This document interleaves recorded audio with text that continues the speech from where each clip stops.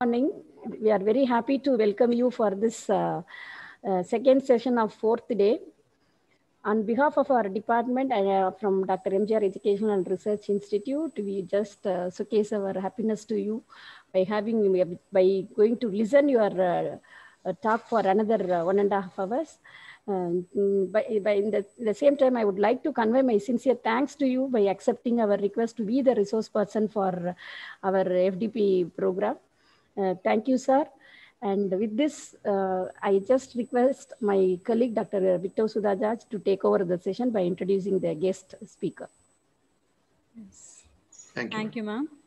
Uh, dear participants, now we are starting the next session. It's about uh, nature-inspired learning mechanisms by Dr. Shivashankar B. Nair.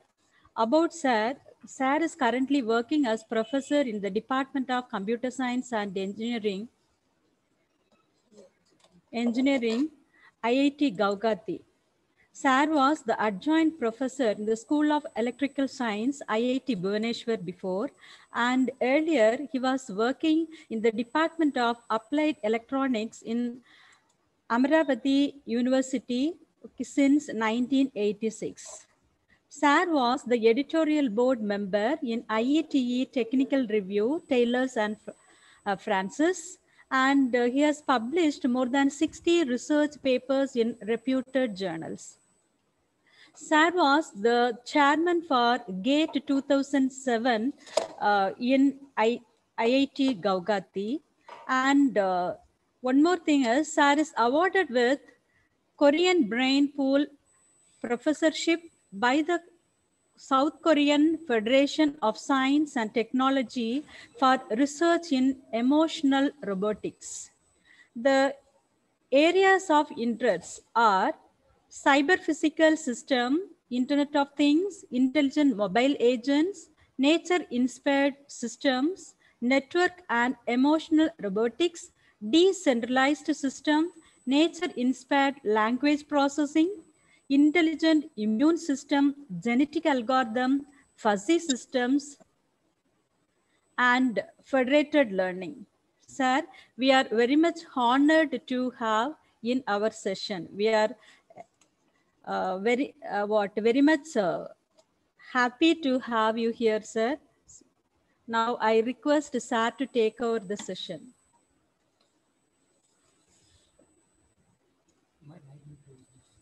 Sir, your mic is on mute. Can you unmute, sir? Sir, unmute, sir. Unmute your mic, sir, please. Oh, sorry. Yes, sir. Yes, sir. Thank you so much for the introduction and also for inviting me for a talk. Thank and you, sir. It's a pleasure, to sir. To all of you. Yes. Yeah, thank you so much. I'll just try and share the screen. yes, sir. Please.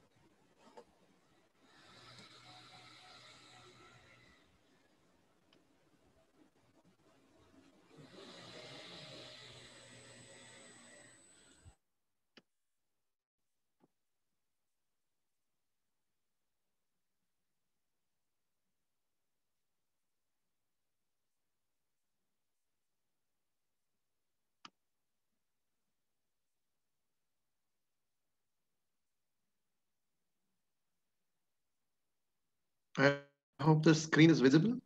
Yeah, it's Sir, getting, yes, yeah, sir. it's visible, sir. Now you can uh, mute your video, sir. Okay.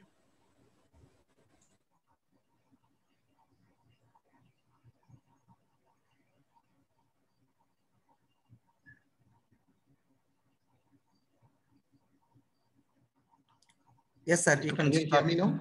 Yeah, yes, sir. Yes, sir. You can proceed, sir. Okay.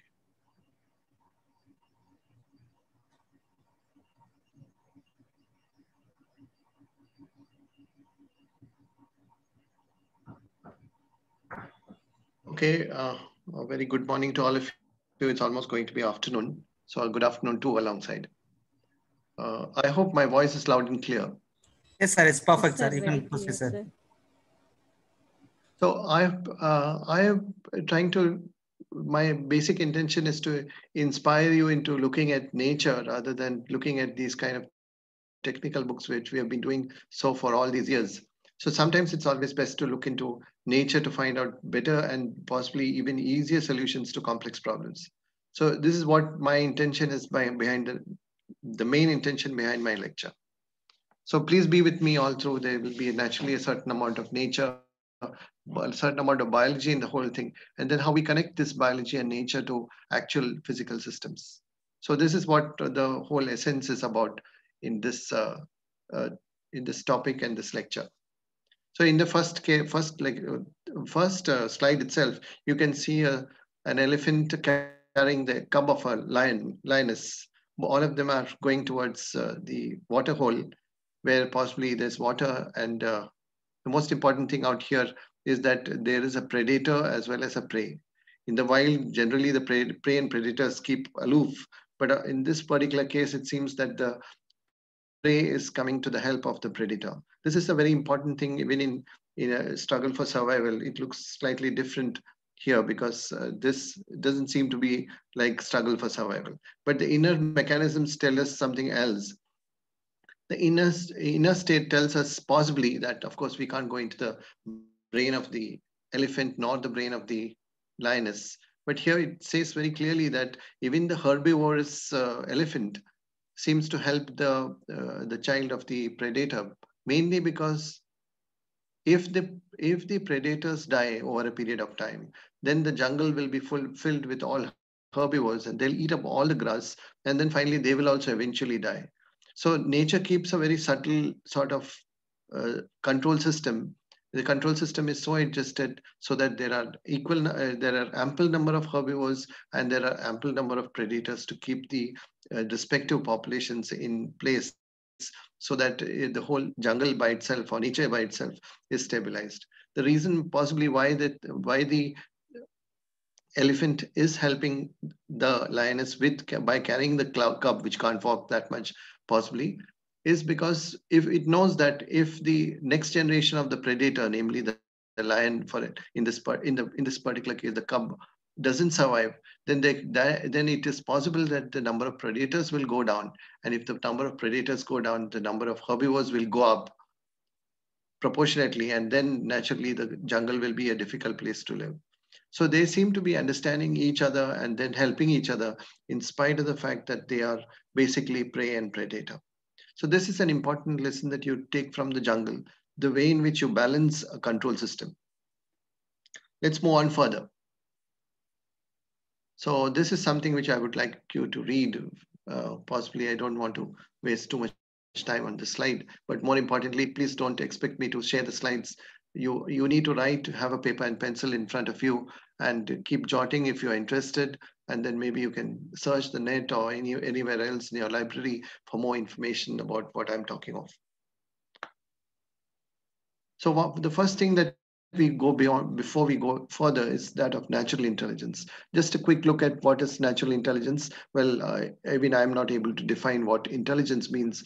Forget about natural but it, it seems that when uh, you generally tend to say that a particular person is intelligent because uh, he is more experienced in that particular field. He knows more about that field of a particular domain which you are talking of. And then because you know lesser than that person you think that that person is intelligent. But when he goes somewhere else where he finds another expert in the same field a better expert in the same field he feels that that person is more intelligent than him. So intelligence is basically a relative feeling of what feeling of what the other person has about a particular person. Based on that feeling you tend to think either you're intelligent more intelligent or maybe you're less intelligent. And the things keep changing because the, when the domain of work or the domain the focus changes from one domain to another then the feeling of intelligence again changes. Because you may be intelligent in some sense in a particular domain you may have expertise so you're intelligent in that field but it may not be so in some other field so this is something which I just quickly wanted to talk about uh, intelligence. Now let's go further. One important factor that you need need to uh, you need to remember is that most of the time, most of you are I'm I'm sure most of you are teachers, just like me. We are all teachers, and we keep teaching things by studying something from some book and that possibly is that particular author of that book was possibly taught by some other or some other person. And that person was taught by some other person and so on and so forth. So this thing is the same thing is being taught again and again and dinned into us. And so much so we become so biased with what is there in the book. So there are times when you should look away from the book and think otherwise. Can the same problems be solved in a different way and maybe a better way and under such conditions, nature seems to be providing more practical problems in such conditions. So it is best to also look at nature apart from thinking by yourself. It's also very important to look at nature and see whether the problem which you're trying to solve is somewhere in nature, has some, nature solve that problem in some means, maybe in some other context, and then try to find out how it has solved it try to extract that solution and then put, put it into your kind of problem and solve it. Many a time you'll find that that may be a simpler way of doing, uh, solving a very complex problem. So this is something that one should encourage oneself to do, and not only oneself, of course, the students whom you teach to. But then uh, when you when you nature comes into picture, then biology also comes into picture. But that doesn't mean that you should just open a book on biology and read it. That's not the way I'm talking of you should read biology from an engineering perspective. A human body, for instance, is an engineered system. It is, though we call it biology, it is a better engineering feat than any of the engineering things that we have done across the world. So look at biology as an engineering, from the engineering perspective, and then try to interpret it in the right spirit, and then take solutions from that. This is what is the essence of what I'm trying to uh, push into all of you. So here are some, some kind of uh, bio inspirations which I've pushed up, put, put up. There are many things in nature you can look at. These are only a few of them. One on the left side top, you can see a large number of ants which make a colony. And that colony could possibly make a, make some things like as huge as ant hills as you can see on the right side middle. That's a huge ant hill. That ant hill could be a, something like, uh, uh, for instance, it could be 20 meters tall. You can imagine something which is 20 meters tall, standing right maybe in a slender neck at the bottom. Even uh, as can be seen here, even when the snow inside, the snow is, it, the anthill is covered with snow, the inside temperature still is maintained at 28 degrees. It's a real engineering feat, in fact. And if, if the anthill is in the desert, then you will still feel that the outside temperatures could be around 54, 55 degrees and inside, inside temperatures could be just around 32, 34 degrees. So they have already engineered the feat and they've already constructed it. Somebody, somebody in Africa, I'm told, has copied this kind of technology into actual uh, buildings and then found out that uh, it seems to be far more cooler inside now, the point to be noted here is that we are not going into civil engineering aspects, but we are looking at other aspects of how ants do all these things. If you take one individual ant and see whether it can build the ant hill, it's just not possible. It is possible only by a collection of tiny ants, and together they make such a kind of such a make such a kind of a phenomena possible. And this is what they call as emergent intelligence. Give, given small small beings with limited capabilities but in large numbers, you can possibly have a, a new and emergent intelligence. So the very fact that it can build this particular anthill of this sort of this uh, these kind of features is itself intelligence. But when you look at who has done it, it's not one single ant, but a multiple multiples of multiples of ants. It could be like something like 250,000 ants forming a colony that can build such a thing. The other important aspect which you need to consider here is that these ants do not talk to each other directly. They communicate by different ways and they do not have a loudspeaker and they don't keep announcing themselves that now I'm going to do this and now, now you better do this. So there is no central authority in the whole thing. The whole system is what, what we could technically call as decentralized. So everybody is a, a peer and everybody contributes to the building of whatever they're doing, either be it foraging of food, be it making a, a path towards the food source, or maybe uh, building an anthill. So in all these cases, the, the system is decentralized. Each one does it's his own, his, uh, the ant by itself, the ant as an entity, a single entity, tries to do things by itself and communicates with the others which are in the neighboring area. Most of you may also have noted or known that ants, when they move around, they lay what are called as pheromone trails. Pheromones are basically volatile chemicals that are secreted by some uh, some glands within the ant, and then they lay that as they move around. And as they move around, this particular pheromone is sensed by other ants and they those ants start following it. But do remember that the pheromone by itself contains more of information than just a trail.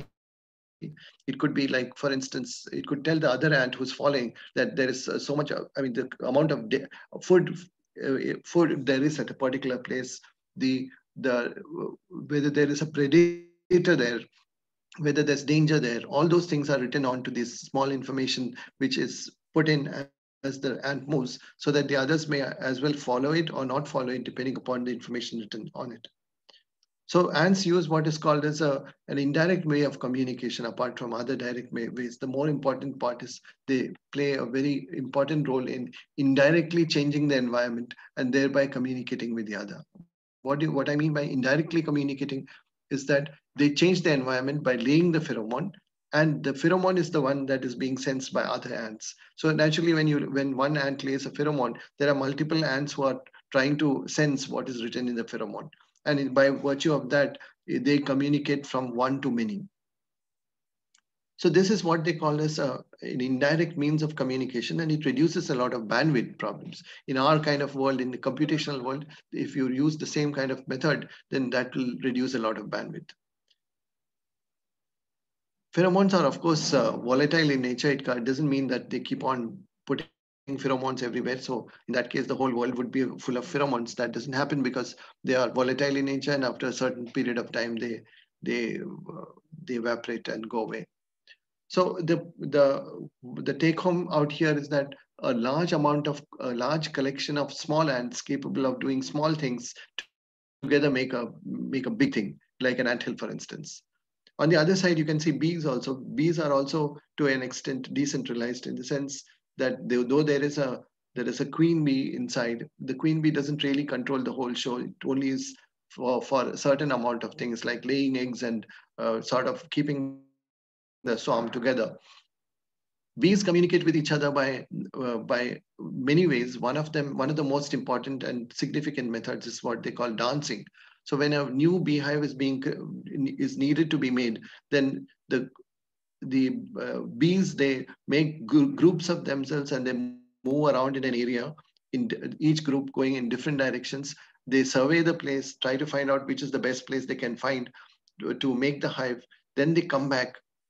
And when they come back they discuss with each other by by dancing.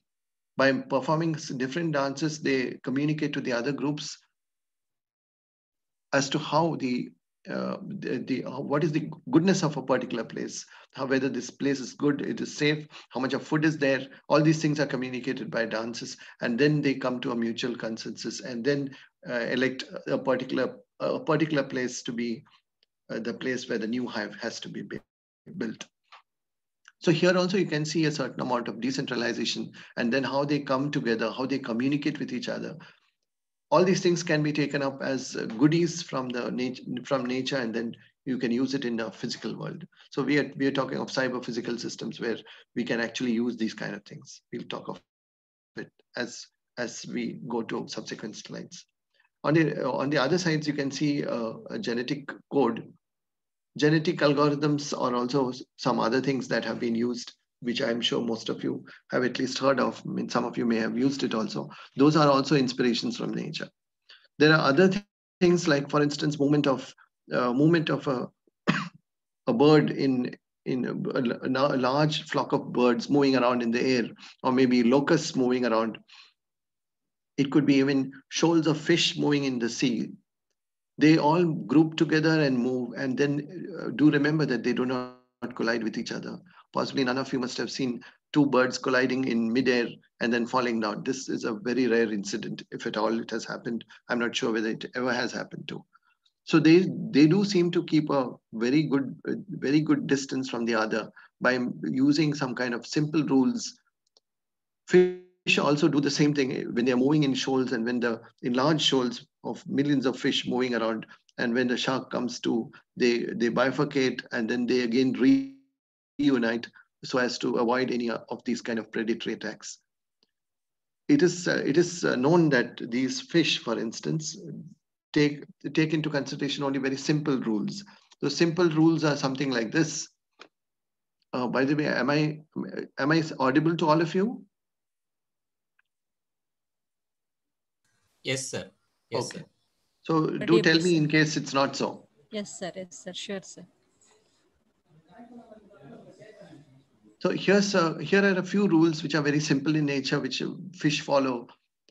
For instance, if the fish is too close to another fish, then it moves away so that it doesn't collide. So it maintains a certain distance between its neighboring fish. So that's what they call as negative feedback.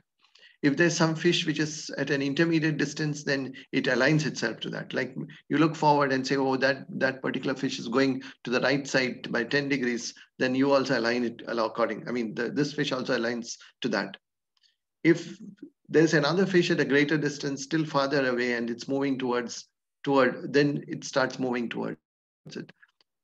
Of course, if the fish is not seeing any other fish, then it has to do any some random search because it's obvious that it has lost lost itself from the crowd. It disconnected it from the crowd, so it has to do a random search. But by using just three or four simple rules, the fish follow a fish ensure that they are in the swamp, they are in the shoal, they are have a distance maintained from the others, and then most importantly, they don't do not collide do remember that when we as human beings who are who walk around in the uh, in a 2d plane we seem to be not we seem to be always uh, hitting each other. If you're going to a busy market you will definitely see that your shoulders your elbow hits somebody or your hands hit somebody or your legs possibly step on somebody else's legs. So these things seem to happen. In fact in, in what way i wonder how, why we call ourselves so intelligent. Whereas these fish these birds for instance do not collide with each other, even when they are in a 3D plane. Then there are other things that possibly we might, if time permits, we'll discuss that. Uh, is the immune system. I'll shelve it for a moment. So what you see on the left side bottom is uh, the immune, immune system wherein those kind of immune cells, the white blood corpuscles are attacking a particular a particular being that is a, a cell which is attacking the body. Let me go to the next slide. So what does nature have to offer us? Possibly better and simpler solutions. This is very important. But these simpler solutions come at a small cost because these are all population-based algorithms. What you do in your computers are generally like you do you take one one particular equation and try to solve it with different different means and it is not it, it is not a concurrent process as in case of a population based process wherein a population has several entities and they are all inside an environment and they all concurrently do some kind of things like we are all we all live in this earth which is our environment and then we all work towards it and then whoever is the best survives and otherwise the others are removed so it is basically population based, um, emulating them in, in your computing systems. Maybe slightly difficult, but we'll look at how we can do it. Then most of the systems, most of what, what you see in nature are distributed in nature. They are decentralized more specifically. Why do we all, why am I always saying de decentralized is that when you have a centralized system, like for instance, a central server connecting to connected to so many clients. So the clients request the server, the server services the request and brings it back. The point in a centralized system is that once the, by chance, if the central server goes down or it fails, then the whole system goes down. On the contrary, if it's a decentralized system, each one is by itself autonomous. So there's no question about any failure. And even if there's a failure, it's the individual's failure rather than the complete system. But that doesn't mean that we should not look at centralized systems too, but we need to have a, a proper hybrid, a, a proper. We need to take a uh, take the pluses and minuses of both centralized systems and decentralized systems, and of course distributed too. Then nature uses what are called as local approaches, as, as we just said about pheromones. So using pheromones, uh, they, it uses some kind of an indirect communication between not all insects use pheromones they use some other methods too the insects animals they use some other methods which is called a stigmergy by changing the environment you communicate to the others. So that is what they call stigmergy so pheromone pheromoning is a type of stigmergic communication. Then there are uh, other things like autonomous behavior self-adaptation self-healing altruism social awareness emotions embodied intelligence. Embodied intelligence in the sense there is a the physical the actual intelligence is inside a body and the body is actually physically moving in an environment and then it exhibits intelligence. So if you embed some kind of intelligence into a robot then that becomes the body of that intelligence. And then that's what we call as embodied intelligence. And then if it's placed in an environment it learns from the environment and then it interacts with the environment in a, a better and better way over time. Naturally it, it has to it has to learn and for that it requires adaptation because if uh, if the environment changes it has to adapt. So self adaptation is again an important thing autonomy of course is required to an extent because the because the physical system needs to do things by itself rather than always try to talk to a superior to find out what is to be done so autonomy is an important issue. Then self-healing is also another thing. One part of something, if it fails, then you need to again regenerate that. For instance, if uh, you are hurt at some point, maybe the blood the blood comes up. Uh, if you if a, if there's a pin prick, then naturally from the pinprick the blood flows out. It coagulates and seals that thing off. After a certain after a certain period of time, when the skin grows, then that particular coagulated portion of the uh, of the uh, of the blood goes off. So this is self-healing in nature. In actual physical systems too, we do have self-healing like a, a, a, a, small system, a computer in a node, if it all by chance has some issue, then it possibly goes for a reboot and then comes back again after maybe trying to uh, reset things and then again coming back to the system. So that could also be looked at as self-healing emotions are also an important thing because emotions uh, in fact uh, emotions are extremely uh, effective in in the natural world because if you don't have emotions there are many other issues like for instance if you do not have fear if you don't have fear then you would possibly be moving around in the jungles maybe swimming across uh, in an ocean full of sharks because you're not afraid of anything and in the process you might possibly get killed and so so it naturally means that emotions are required for for this struggle for survival. Uh, last, before I change this uh, slide, I would like to point what has been written down there. About 100 million cells in your body have already died by the time I read the statement. So one important part in your system is, is that some many of the cells, a million cells, more than a million cells, are dying as we talk uh, across this uh, across this internet.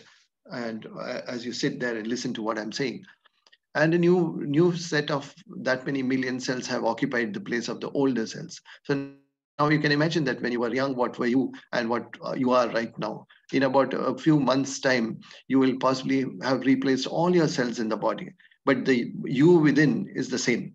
You have not changed but your body has changed so many so many times over the years. So what does uh, how do what all paradigms have they taken out from nature? For in, one of them is the artificial immune systems which we'll just discuss. There are evolutionary systems like for instance genetic algorithms genetic programming which many of you are aware of possibly. Then there are swarm intelligence like for instance we just we just had a quick look at those rules which are basically swarm rules. And then there is intelligence across to many other intelligent algorithms have been developed which are pertaining to swarms self-healing, artificial life, amorphous computing, which are basically computing using small processors, small constrained, constrained processors. Then, of course, many of you do know about um, artificial neural networks, which is the hot thing right now with deep learning coming up with so many GPUs trying to crunch a lot of data and then finding out rules within. So these are all paradigms which people have taken from nature. So let's look at one of the paradigms because uh, this whole uh, this whole course seems to be uh, moving across, or rather, focused uh, focused on security. I thought it best to uh, have a quick look at the artificial immune system. Why did why did I look at the immune system? Because the immune system by itself is something that is uh, uh, protecting your body. The natural immune system protects your body. As you sit and hear what I'm saying, there's a big war going on on your body between viruses and uh, all sorts of the viruses, then bacteria and whatnot. They, all of them are attacking your body, and your body is constantly defending it. You are not possibly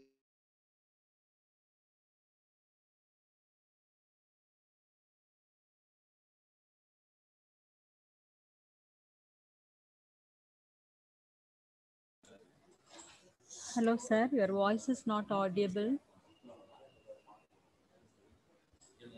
Hello. Sir, your voice is not audible. Sir.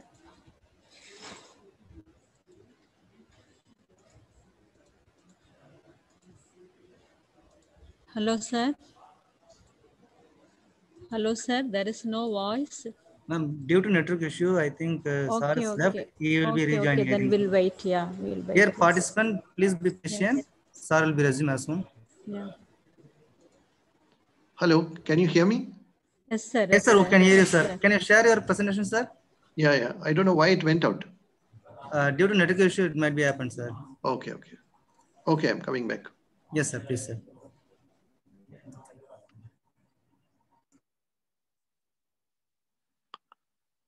Is it visible now? Yes, sir. Yes, sir. You can proceed now, sir. Okay, thank you.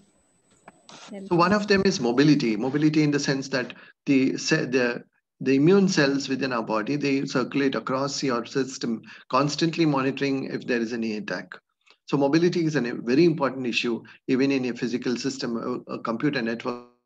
For instance, there are so many computers, so you need to have a physical system that well, a system that actually moves from one computer to the other to find out whether there is has been an attack. Then there are chemical and physical actions. As you can see on the right side, uh, there's a small uh, montage of uh, T cells, which are basically what they call as commonly known as uh, white blood corpuscles attacking a large cancer cell. And th- actually, there's a physical and biophysical activity between these two cells. The the WBC cell, which is slightly white in color, and the other, which is red in color. So there is a chemical component. There's also a physical component in it. There's also anomaly detection, which means you're trying to find out whether the other member whom you possibly think is a is an attacker or an in, or your your own self. Like when you when you are in the imagine you're the soldier, you need to identify who are your fellow soldiers and who who is the enemy soldier. So this kind of recognition system is also there within the within the immune system there's also a certain amount of tolerance. And tolerance in the sense that some of the some of the uh, so-called aliens who are not supposed to be there who are not like you can also sit in your body. For instance in your gut or the stomach lining you'll find a lot of bacteria which help you in digestion.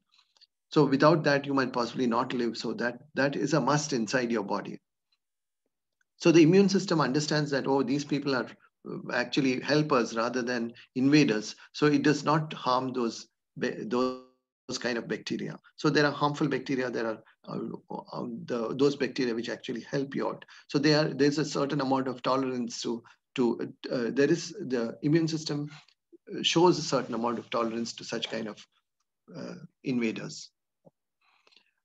Then there is the robustness, there's feature extraction because it needs to understand whether this is a good bacteria or a bad bacteria. So in, in terms of uh, in terms of the new deep learning neural networks, we always talk about feature extraction. Here also it extracts the features and, and learns whether to attack this person or not. If the feature corresponds to features of good bacteria or their own, or maybe another WBC cell, then in that case it doesn't attack. But if the feature does not correspond to that, then it says, oh, this is a, an invader, and then it tries to attack. So feature extraction and therefore recognition is done by the immune system.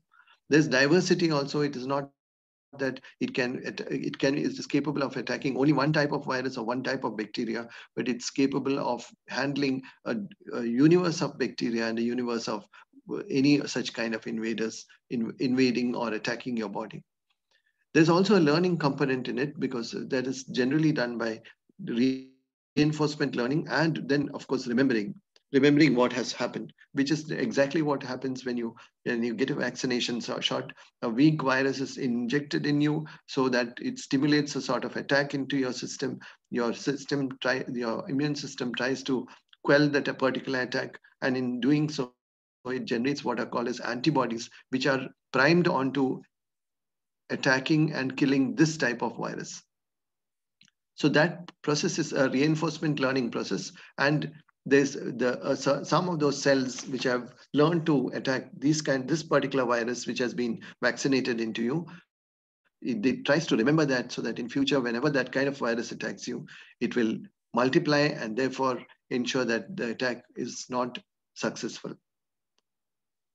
It is distributed in nature, it's multi-layered, it is adaptive. All these features are there within the immune system. In fact, all the features which you would like to love to have in a physical system which you are making, a cyber physical system, is all there within the immune system. And over and above, it protects itself.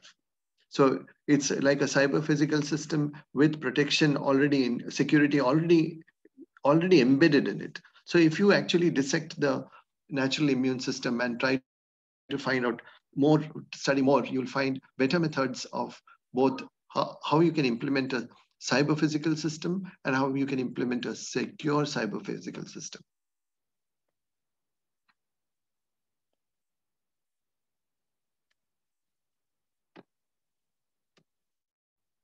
So where, where all have this immune paradigms been used? One is fault, fault and anomaly detection, as we have already mentioned. If there is a fault or an attack or a fault in a particular system, which could be because of some kind of uh, breach, security breach, or some failure, those kind of things can be detected. It has been used in machine learning, pattern recognition, pattern recognition because you're actually trying to find out features. So basically underlying thing is pattern recognition. Then agent-based systems, scheduling, autonomous control, optimization, robotics, language processing, and of course, security of information systems.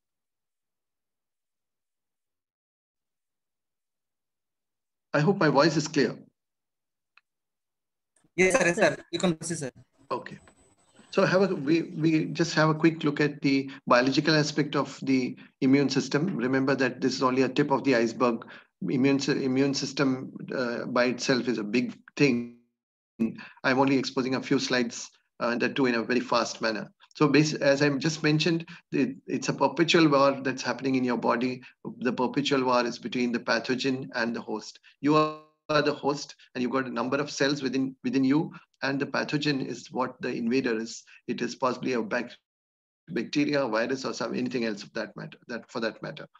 So uh, do remember that the pathogen by itself is not just a single person or single entity. It will come in uh, orders of magnitude, which is smaller than the host initially. So a small amount of bacteria, a small number of bacteria will enter your body. Once it enters your body, it, uh, it gets all the nutrients which it requires. And based on that, it will multiply. And it, it can multiply to a very large number. So on your side, from your host side, that is your body side also, the, the immune cells are also capable of correspondingly increasing their numbers as and when required. So if there are more attacks by more number of uh, the invaders or the pathogen, then these, these immune system cells also will multiply accordingly. And then it is a war between a big population of, anti, of antibodies and a big population of the entering, the invading pathogens. Then it's uh, based on the war, who wins will possibly tell us whether the host has survived or not. Okay. So the, the immune system by itself uh, is for protection of your of the host naturally. The, the more important part which I want to emphasize in this slide is that the, there are two things in your body, two uh, immune responses. Number one is the primary immune response, which is the innate immune response, also called as the innate immune response. So this is something like if you've got a common cold, for instance, your actual system doesn't kick off. You already have these antibodies available in you as some kind of a pre-written memory. So when you're born itself, you have this and possibly this this kind of antibodies possibly come through mother's milk which is why we say that the, the child should have mother's milk as much as it can because that will that will give it a better primary immune response or an innate response the other, so this is very generic, which will be same across all of us. For instance, common flu, common cold, all these things are covered by whatever you have in the body when you're born. But the other things like, for instance, chicken pox and all, these are rarer things. So that, naturally requires to requires you to actually be invaded by chickenpox virus or possibly you, you've been vaccinated. Either way, you're being invaded. So for that, that uh, when it comes to something other than what the immune primary immune system cannot respond to, then the secondary immune system is kicked in, kicks in. And that is adaptive in nature. Adaptive in the sense it learns how to attack so by mutating itself, it tries to find out which is the best way to contain the incoming invader. And then it learns how to do it and it remembers from its past encounters. And this is what the secondary response, immune response is all about. So the, once it has learned, then whenever that same kind of virus or bacteria attack again somewhere down the down the line then the response is faster and possibly many a time you do not even know that you had though since you already have had a chickenpox vaccination you would never feel when chickenpox virus actually attacks you because the system has already learned how to cope up with the invasion okay so here's uh, uh, here's how it looks like. As I said, the whole in, in, the immune system is layered in nature, and that's what the figure here shows. That the antigens or the pathogens, antigens, pathogens, these are all invaders. So they could be of different types. They could possibly they will invade you initially at the skin level, which you can see is a blue line. And so once it, some of them may be maybe stopped by the skin itself because the pH of the skin, the sweat on the skin, the salt in the skin, the salinity will possibly destroy it. But some of them may possibly break the barrier, go through the skin and come into it. Then there are some biochemical barriers. For instance, the biochemical barrier could be uh, could be through the nose. There is mucus in your nose. The in your mouth when you when you secrete saliva, it's alkaline in nature. So some set of antigens might possibly die during the process. So that's that's a second layer of second layer of defense. Then comes the innate, innate immune response, which I just mentioned, which uh, are handled by what what cells called phagocytes, which actually eat up the eat up the antigens or the invading pathogens. But if the phagocytes are also not capable of it, then comes the in at the bottom you can see the adaptive immune response, which is which comprises B cells, T cells, and a range of such cells, all generally loosely called as lymphocytes. So point to be noted is that this particular immune system is layered in nature. So it has several layers of protection. First layer, second layer, third layer, like that. So let's have a quick look at how, uh, how the secondary immune response works, the mechanism by which the T and B cells work. Just a quick look at it. I hope the animation is clear. I hope the animation is coming onto your respective screens. So here's the antigen. The antigen is generally uh, in, a, in the, we are talking of the adaptive immune response, which is the secondary immune response, not the innate one, which is common to all of us. For a specific antigen, an antigen presenting cell comes up and it tries to process that cell. It's more like pre-processing data. Data is coming, so it's pre-processing the data and then finding out whether this data is good or bad. So here the antigen is the data and the antigen presenting cell is the preprocessor. So the preprocessor actually breaks down the antigen and then presents a protein to a cell called as a T cell, which is the part of the immune system. The immune system T cell tries to find out whether this presented protein at the outer periphery of the of the antigen, antigen presenting cell, it tries to find out whether it's a it's a good one or a bad one. So by by if I can use the word by tasting it, it finds out whether this piece of the antigen is actually an antigen or something else. If it is actually an antigen, then the T cell becomes what is called as an activated T cell. So it becomes it's like a warning bell comes up, and therefore the T cell changes my metamorphosizes itself into what is called as an activated T cell, and then the activated T cell releases what are called as lymphokines into your bloodstream. And those, those possibly actually go to and kill the antigen. So this is a mechanism by the T cell. There's still another cell called as a B cell, which is not, which doesn't require any pre-processing. The B cell can directly attack the antigen and kill it. So here's the antigen. Here's the B cell, which resembles the T cell to some extent. And then the T cell, the B cell actually finds out whether it's an antigen or not. If it detects an antigen, then it becomes what is called as an activated plasma cell. And the plasma cell is what releases the antibodies into the bloodstream. And it is this, these antibodies that go and plug the antigen and thereby neutralize it. I'm sure most of you uh, have gone to the doctor when you have fever and the doctor has prescribed maybe a, a blood test and then, then you try to find out whether the WBC count is high or low. And if it is high, it means that you have been, your body has been generating such kind of antibodies, which means there's an infection. So this is an indirect sort of way to find out whether there's an infection. Then of course the doctor gives you some antibiotics to help you out in destroying the antigen. So do remember that we are talking about security of your own system here.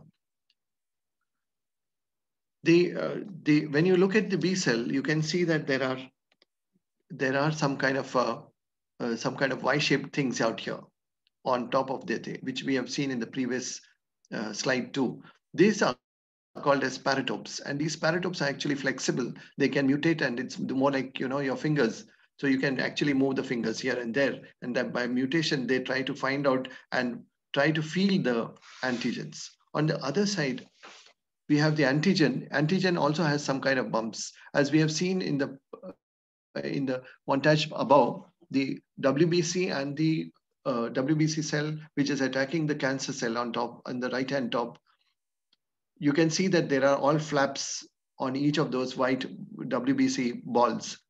So those flaps are basically what are the paratopes.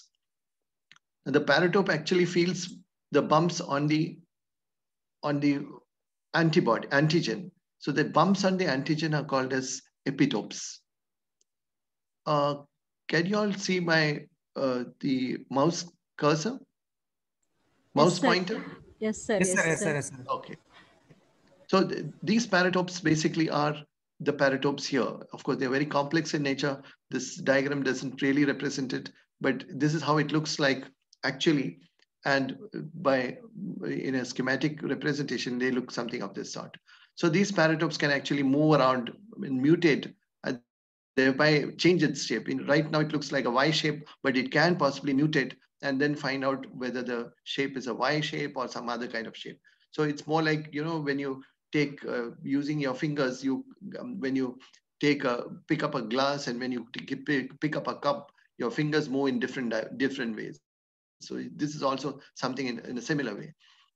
So it learns by itself how to attack the antigen. An antigen on the contrary has different types of bumps. Here in the b cell you will have if, if it is y-shaped all of them will be y-shaped. There will be thousands of them across it but all their shapes are same then this is one B cell. Another B cell could may not have a Y shape. It may have a square shape, like for instance, this one. And that cell would have all square, squarish looking or rectangular looking par paratopes.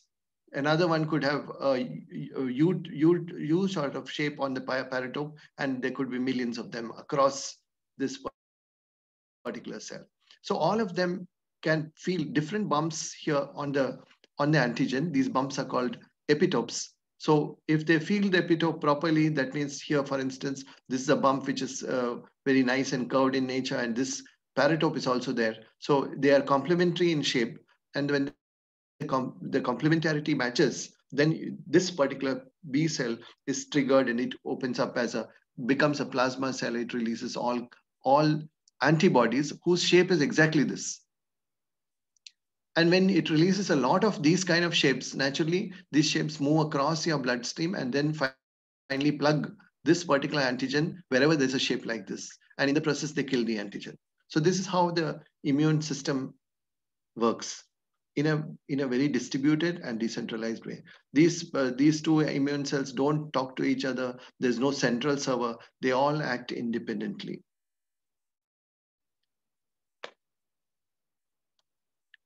So there are many theories which people have propounded regarding uh, immune systems. One is called as a clonal selection theory, in which, as we have just mentioned, that whenever there is a, whenever this particular antibody, this is the, parat, the epitope of the antigen, only a small portion has been shown. If this complementarity is not correct, like as you can see that here it's something like a something like a different shape here, the paratope and the epitope don't match each other, then these kind of cells which have this kind of paratope are of no use because that doesn't seem to be very effective in controlling the antigen antigenic attack. So they are removed by, by the system, by the immune system automatically by what they call as the negative selection.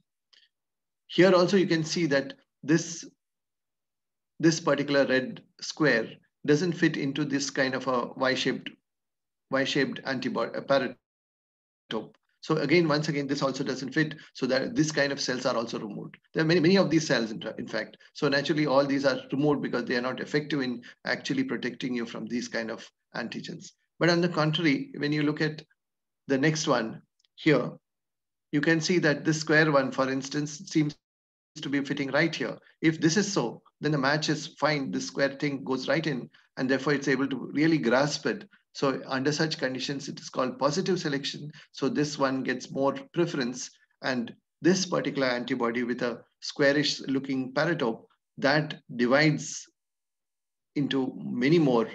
It clones itself and the clones again clone. So there is a sudden increase in rate of such kind of cells. And these cells, some of them, they are kept as memory for future use. Some of them transform themselves into what are called plasma cells. And these plasma cells will secrete, uh, will release a number of such kind of such kind of paratopes, which are basically the antibodies. And these antibodies flow through the system and they will plug all these kind of square shaped antigens. Wherever there's an antigen having a square shaped epitope, they plug it and then they'll kill it. And that's how the defense system works. These memory cells, on the contrary, they live for a long time. These are, of course, consumed over a period of time. When the antigenic attack is over, these will also die. The plasma cells will die. The antibodies are also removed from the system. But these cells, which have become memory cells, they will remain in the body for a long time. And by chance, if the same kind of anti antigen with this kind of square epitope comes up again in life, then these memory cells will once again replicate and then the same process goes on. So you can see that there is a certain learning aspect by changing these shapes to suit the antigenic epitope. The, the system, the B cell learns how to how to catch hold of the antigenic epitope, and then it multiplies. It it uh, ensures that the security is not breached, and then finally it also remembers it. So there's a certain amount of learning, which is reinforcement learning, and then there's memory cells which actually remember for future use so that future attacks are curtailed. This is one theory. There's another interesting theory by propounded by uh, N.K. Jerne in the year 1984. He uh, he got the Nobel Prize for this theory called as the idiotypic network, idiotypic network theory. I'd rather go to the, uh, maybe I'll show you another. Yeah, this is what, uh, as, you, as you can see here, these Y-shaped things are basically the antibodies. So he's in the previous case, we said that those antibodies are released and then they, they, they actually go and ensure that suppress the antigenic epitopes. So here he says that in addition to the paratopes, there are also something called as idiotopes. And they, he says that all these and antibodies, they actually form a network. So this idiotope falls into the paratope of this. So this communicates with this one. The idiotope of this, which is a side bump here, it falls into the paratope of the next one. And they sort of keep on shaking hands. And by shaking hands, they communicate with each other. So then there is a network of such network of such antibodies already in your body. So with this kind of a network already present in your body, whenever an antigen is detected by, let's say, for instance, this particular uh, antibody, like this particular epitope falls into the paratope, which seems to be exactly complementary, then this, this specific antibody is triggered. If, it is triggered, what it does is that it increases its concentration, which means it, it actually regenerates itself into multiples because it is it has been able to find out the detect an antigen. So it it seems it's more effective. So the concentration of this particular antibody will increase because it is able to detect the antigen. And then this one, because it's connected to this one, it will suppress this one saying that you, I don't need you much about much of you. And this will uh, ensure that this is also suppressed. So the concentration of the one which has actually detected will increase. By concentration, I mean the population of that particular antibody. Each of these antibodies are different because their paratopes are different. They are heterogeneous in nature because this antibody can detect only this type of uh, an epitope. This antibody can detect this antibody can detect only a squarish epitope and so on. This one may be a triangular epitope. So they are all different, but this one by chance seem to have detected this particular antigen. So this, its concentration will increase. So its population will increase because it's more required. Whereas the populations of the others are comparatively diminished. So what is happening is that the one which has actually finding and detecting the antigen, that will suppress the others. And those will correspondingly suppress the others because they have never, never detected the antigen. The one which has detected the antigen correctly, that will grow in number. Those have, which have not detected will become smaller and smaller, smaller in number. So what's happening is that whatever those kind of let's imagine in a social system those laborers who are who are good and who can do a certain job will do multiply whereas those laborers who do not do good jobs they are actually suppressed or their population dwindles. This is what's happening here. So there's a positive response and a negative response. So the winner that is the one which is actually uh, detecting the antigen wins and it is it is stimulated by the others and this one, on the contrary, suppresses the other. So he mentions that there is a network of simulations and suppressions across several populations of antibodies. There are different populations of antibodies which are unique. Each population is unique is unique in their own way in the sense that the, the nature of the paratope is different as you can see here and their respective subpopulations will increase or decrease based on these suppressions and stimulations received from the others. So this is what the theory suggests. From an equation point of view, you can see that the dynamics are something like this, that the rate of change with respect to time of the concentration of a particular type of lymphocyte, of a particular type of lymphocyte, meaning of a part which has a particular pattern on the paratope, is equal to its current concentration multiplied by the total excitatory, excitatory signals, which basically mean the stimulations it receives from the others, minus the total inhibitory signals. The inhibitory signals are basically the suppressions received from the others. So this one plus plus the rate at which these lymphocytes are produced. As we have already seen uh, earlier also, we said that the cells die and new cells are generated. Here also, some of the lymphocytes die, die but new lymphocytes are introduced too.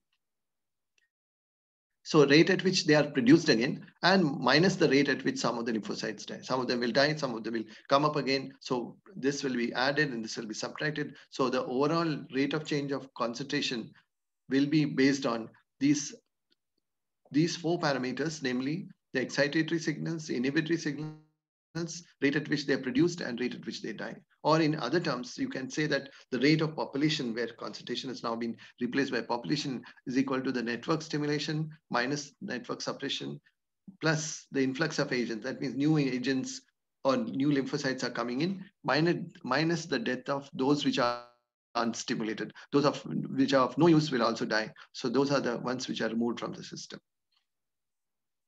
So if you go by this thing, you will find that those those uh, antibodies, or let's say let's call them soldiers who are trying to protect your body, the, the number of soldiers which are actually improving or which prove to be more be beneficial to the system or which are more efficient, their concentration or their population will increase, whereas those which are not effective will die down. This is what the whole immune network is all about. So, so much of biology, for instance, but how do we really come into the, our kind of world? So how is, how is an idiotypic network formed within the plasmatic biological system? How can we actually evolve these concentrations? How do, how do these concentrations of the best ones increase in the biological world? Let, let me show you a, a, a quick animation of the whole thing. uh, which which we have published in a paper. You can check this paper out if required for more details. And we have called it what is called as a localized idiotypic network. So let me just show you what it means all about. So here's a, uh, a typical look at uh, antigens of different kinds. Here you can, uh, sorry, uh, antibodies of different kinds. You can see antibodies which are black in color, brown in color, green in color, all different types of antibodies uh, possibly flowing in a liquid medium. They are all mobile, they're moving around in your body. Now, if an antigen attacks, their populations are all different because all of them are mixed up here. As you can see in the actual system also it's mixed up. Then how can you imagine a network of these kind of things? Because they are all moving around. Some Ys are somewhere else, some Ys in one side, some Y, some type of Ys. Like for instance, the greens are uh, covering this area also spatially. They are also here and so on and so forth. So this thing is a sort of a, a very schematic representation of how the the populations are. The, do remember that they are all spread out spatially in your body.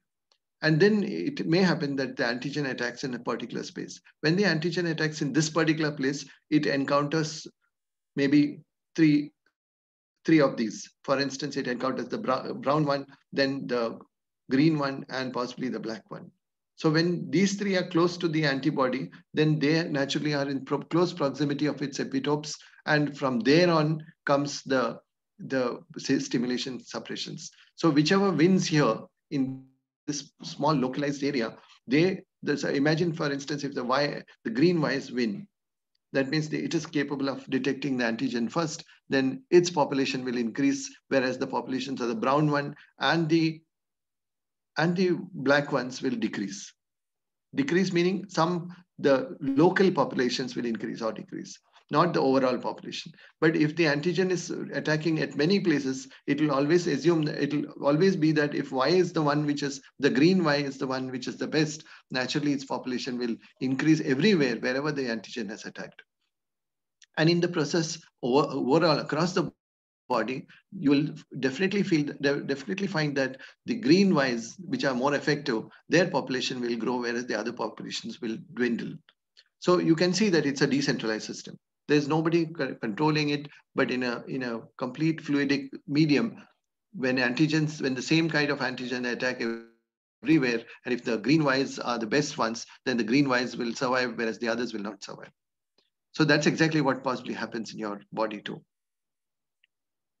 Now that's the, all this is biological side, but how do we actually implement it in our kind of world? So let's uh, have a look at how we can implement it.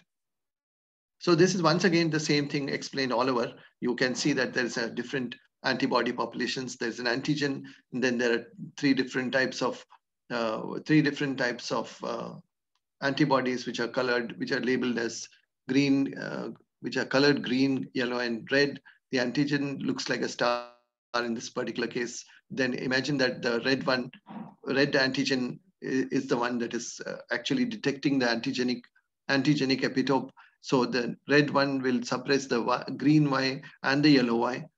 And so the green, the others will stimulate it. That means the green ones which have failed in doing it and the yellow one which has also failed will, uh, will stimulate the red one. So the red one will increase in population and so on.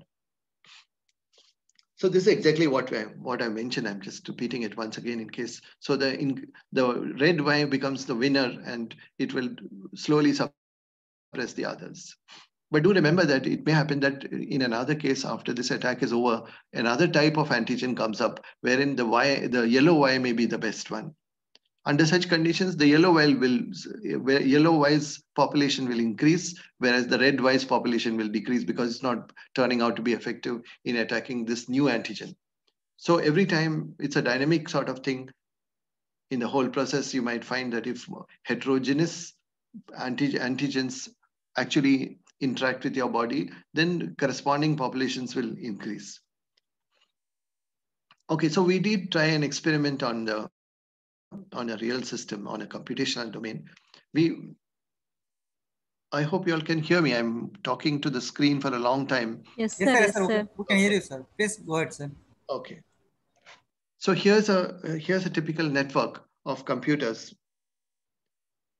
wherein uh, wherein there are uh, antibodies moving around. Well, you might say, what is an antibody? The antibody in this case is some, what is called as a mobile agent. A mobile agent is basically a program with a certain service in it. Like an antibody also has a service. Its service is possibly to kill the a particular type of antigen with a particular type of epitope. Here in this particular case, you can imagine a network and in a network, if there is some issue in a particular area, then some particular antibody needs to get there and then solve that problem. So we, we define some things like node under attack, which is the which is which is an antigen. For instance, this particular computer is now under attack, which means there's a problem out there. It could be a problem of some other person hacking it or whatever, whatever. So it, it is an under an attack. And the the solutions to the attacks, to the various attacks, are actually carried out by carried by these kind of agents which are moving across the network. And those agents which are moving across the network, they are actually what are called as mobile agents. So mobile agents carry programs which can service such kind of attacks. So they are all moving. So there are different types of mobile agents moving across the network. They're continuously moving and patrolling the network so as to ensure that if there is any danger anywhere, then they'll try to go there and service it. But if the if the attack comes up many times, or how do we now model the immune system here so that the attacks are quickly quelled because an attack could come up on one particular computer and it could quickly go to other computers too. And under such conditions, naturally you need to ensure that the, the best ones, the, the antibodies with uh, the sorry the uh, mobile agents which have the best programs to quell the particular attack suddenly increase in population so that they can service everyone in a parallel manner this is the basic idea behind this so let me uh, let me show you the animation which possibly will explain what the whole thing is about so here's the network. We start off from the beginning. We have a, a, LAN, for instance. We used a LAN with several computers connected in different ways. These are virtual networks, overlay sort of networks on a LAN. Then, so this is a network of computers. We will call them as nodes a, uh, of the network. Then there are different types of agents. So here we have selected four agents called type, type 1 agent to type 4 agent. Each of them has a solution to a problem. So a problem could occur anywhere in the system. They, these, these four agents have, have a certain solution to different solutions to the problem. We need to find out which is the best solution. So this is a sort of a learning mechanism wherein you try to protect your system by learning which one of these agents should uh, has the actual answer. So let's let's start the thing. So these are all agents. These agents keep moving around by carrying services. They are now actually metaphors of the antibodies. So they, they keep, they are all everywhere across the network. You can see different colors indicating different types of agents. So these agents, uh, they keep on migrating it. They are actually patrolling the various nodes. They move from one node to the other. And then they keep on finding out if there is any attack. And if there is any attack, they try to service it. So let's imagine that there is an attack at a certain place. For instance, this particular computer. So when this particular computer has an attack, then what it does by itself is that it intimates its neighbors that it has been attacked. So this attack is done by some kind of a pheromone sort of thing, which is which are called as danger signals. In immune system theory, uh, there is a there is a thing called danger signals. So th this sort of emanates danger signals to its neighbors. So it sort of puts up danger signals telling its neighbors that it is under attack. So please help me out. When this happens, the agents which are moving around and which are across its neighbors or any other places, they will all try to come over to that particular node under attack. So this is only a subset of agents that which have come to that. Remember that there could be other agents which have not reached here, unfortunately. Maybe there would be a better agent somewhere far away, but unfortunately it has not come here. That these things could happen because the whole system is plastic in nature. Yes? Can you hear me? Yes, sir. Yes, sir. Sir, you can proceed, sir. Yes, sir. Okay. So, uh, uh, well, how much time do I have? Sir, you have 20 minutes more, sir. 20 minutes, okay. Yes. So as you can see that the agents which are somewhere close by, Yes, sir, they yes, will sir. start. Yes, sir, yes. following- Yes, sir. Yes, sir. The root path are only visible, sir. Okay. So these agents now can, which are in the neighborhood, they come up to this particular system, which is under the node under attack. So these are all solutions. As you can see, uh, two of the uh, the orange ones have come up. Uh, six, uh, five of the yellow ones have come up. Three of these green and one of this, uh, uh, one of this white one.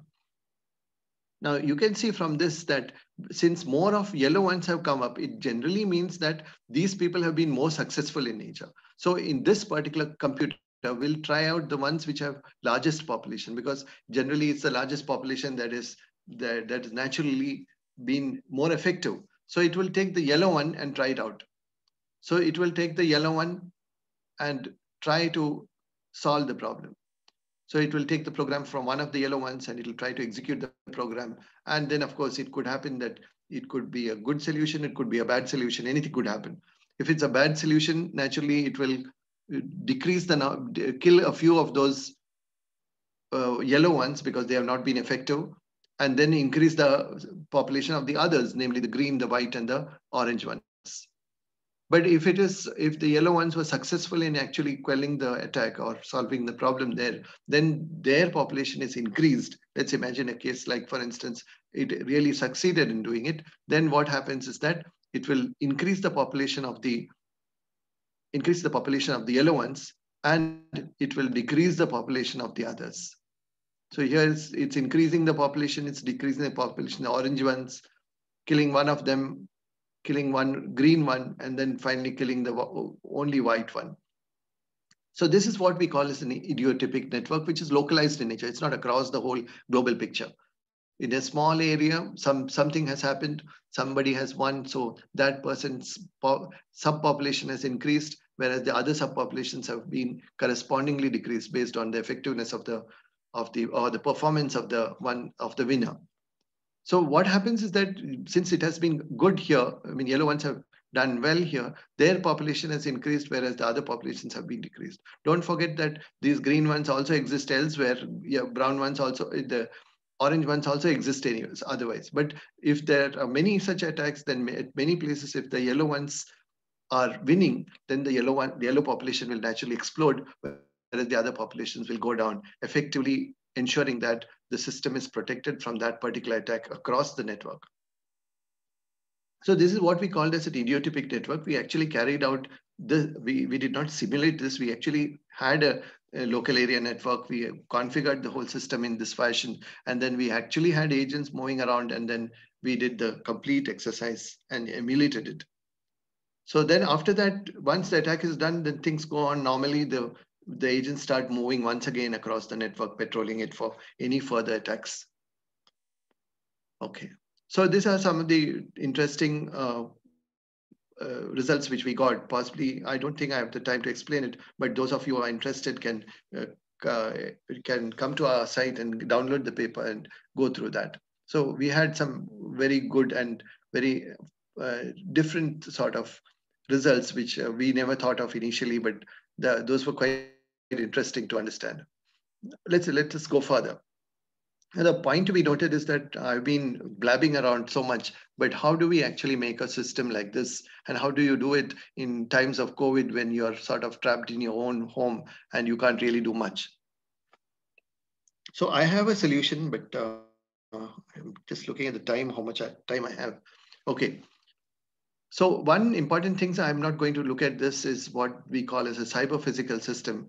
So most of you, you naturally you're talking, we are talking of cybersecurity. Most of you know what is a cyber physical system. But how do you put the intelligence in it? Then, well, this is how how we put the intelligence in it. I just showed you a cyber physical system where the mobile agents form the cyber part, the physical part is the computers, and together the the two things, the mobile agents and the physical system, to the, together contribute to the intelligence of the system. In the process, all the problems are solved, as you can see, as you as we have just seen, and also the system is protected.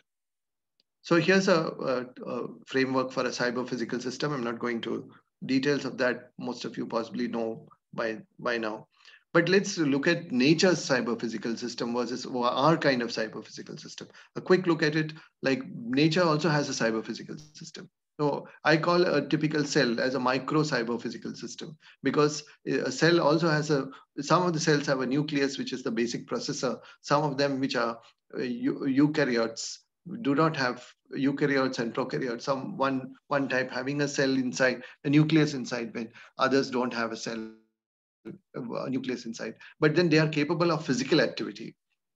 They are capable of physical activity. They are capable of soft activity, just like we have cyber physical. Here also there's soft activity, which is processing inside and also physical activity, which is possibly movement, trying to get nutrients from the outside of the cell and then eating it up and then understanding what it is, breaking up into smaller pieces and then then uh, trying to ensure that the system is the cell by itself lives so this is the micro micro cyber physical system in the in nature but now if you consider a collection of cells to a certain extent then you can imagine an ant an ant is a collection of cells of such cells. So if you consider an ant as a collection of cells and then you collected several ants then it becomes a macro cps wherein wherein there are many ants forming a colony. And each of those ants by themselves is, comprises a micro CPS, a large number of micro CPS. So an ant is a collection of a large number of micro CPS within one macro CPS. And then there are several such micro, macro CPSs, that is many ants which form the colony. The same thing could be looked upon as a shoal of fish or a flock of birds or whatever. Coming to a mega thing, you can imagine that a human being, for instance, or a gorilla or maybe a, an elephant could be looked upon as a mega CPS because it has capability of thinking, it has capability of acting into its environment. So all those things are embedded there too. So there is a cyber component in it, there's a thinking component in it, soft component, and there's also a natural physical component. So this is the this is the from from a natural perspective, nature's perspective, these could be could be taught looked upon as cyber physical systems, nature's cyber physical systems. But how do we actually go about making our own? Now, let's let me again once again tell you how it looks like, how what I just mentioned looks like. So from cells, if you imagine a unicellular being like, for instance, a bacteria or a human cell, you, you can imagine a collection of cells. So there's a lot, large collection of cells. The large collection of cells are then finally connected to each other. So when they're connected, then it becomes a small entity, like for instance, a human being or whatever. So, so initially in this particular case, we started off with cells, we put up cells together, and then we connected them together to form a network of cells. And then finally, finally you make a complete envelope across it so that it is contained within a body. And these are all connected cells. So each cell by itself is a processor now. Each cell is a processor. They are all connected as a network. And then what's missing? There's only one thing that's missing. The one thing missing here, they, they are communicating. So there's a cyber element in it. There are processors in some sense there's physical, but there's no physical activity. So the physical activity is also important. So the physical activity comes when when the when it actually moves, the actual system moves. Let us look at the uh, the other side so, so here you can see that it has actually moved. So when it has moved, this movement actually happens to be the, the physical activity. So there is cyber component, there's a physical component, there's a movement component too. Together they make the, the cyber physical system, the biological side. Now, how does the other side come up, like from our side, physical, uh, computational world, from the computational perspective. So here's how we start off. We, we imagine that robots are the actuating organs or maybe processors with actuating mechanisms with mobile agents also embedded in them. So we start off with a mobile agent. I represent a mobile agent like this with a capital M in a sphere, which is basically a program which is written and embedded into a embedded processor or laptop or computer or possibly a robot itself or maybe even an IoT device. So here's the robot or the processing device, processing and sensing device, sensing, actuating, processing, all done together. Then we, we start off like what we did. We The mobile agent is a cell. So we have a collection of cells. So from collection of cells, we connect them together. So all the all the mobile agents, though they are softwares, software components, they do talk to each other by some means. They share information. So they are in some sense connected. These are not physical connections. They are cyber connections. Then these things have to be now embedded into a network of processors or robots or sensing devices, sensing and actuating devices. So now this second component has to be superimposed has to be superimposed in the network of such kind of processors or robots. So how do we do that? So we put up mobile agents in various various robots here. So this mobile agent is a program within the robot. This is another program and so on and so forth. So all these mobile agents basically carry a set of programs which they are capable of. If a particular robot requires that I need a particular program which it doesn't have, then naturally that particular mobile agent moves to that program and executes it there. So it, there's a mobility of the program as such, as you can see, as we have seen earlier too, that it moves from one robot or one processor to the other and then executes it. Here also, it moves from one place to the other. I hope the animations are clear. Yes, sir. Very clear, sir. Okay. Likewise, so there are so many mobile agents. So these are basically the antibodies. The antibody, the mobile agents can clone also. When they clone, naturally they replicate itself, just like the population of the antibodies explode. So here also you can model the explosion of mobile agents which are good in nature. That means those which are actually having good programs, those which are having less, uh, uh, I mean, those which are having programs which do not have a proper performance, they could die. So some of them could die, for instance, as you can see right now. Whereas some new ones also have to be added, just like the equation we said that some new lymphocytes also come up. So new antibodies also come up. So new antibodies can also come up. So that is by creation of new, new mobile agents. So you can clone mobile agents, you can move the mobile agent, you can kill the mobile agent. All these things are possible. And then these agents actually carry good programs, different types of programs, and then they move around and those programs which are good, they will survive because their populations will survive. So you can model an exact cyber physical system with the kind of intelligence involved in it, the kind of learning mechanisms involved in it, and also the security involved, which is required. So this is what, what I would prefer to put up as a cyber physical system with mobile agents moving around across a network, which each of the nodes in the network, they're able to sense. They're also able to capture information. They're also able to physically move objects. So the last, we're coming to the last part. Uh, how do we make such kind of things? It's all right to tell, tell you all across and just uh, keep telling you more and more and not being able to use it at all. So how do we tailor such kind of population-based algorithms? So remember that here the population is a population of agents, and you're trying to find out which of the population should be more because you need a better performance across the cyber physical system. So you need the better programs to survive and the lesser programs to be uh, filtered out. So in order, so in order to design what what we call as intelligent cyber physical systems. So challenge is that the cyber physical system has a physical component and the physical component would mean sensors and motors which are exposed to real environments. So you, from real environments you take some sensory things and then drive the motors. So how, then how do we put up nature's algorithms into such things? Then it has to be central should it be centralized or decentralized? It may be part, partly centralized partly decentralized. Then how do we go about programming them? So for this uh, i'm uh, I cannot explain this whole thing, but please take a screenshot of this for those who are interested in actually programming such systems. If you take a screenshot, you will the uh, the links are already there. If you want to see how you can program it, we have a we have developed a, a multi-mobile agent uh, system or a platform which is open source in nature named Tartarus, which can actually write, which by which you can actually create mobile agents of the type which we have mentioned right now. You can program those mobile agents.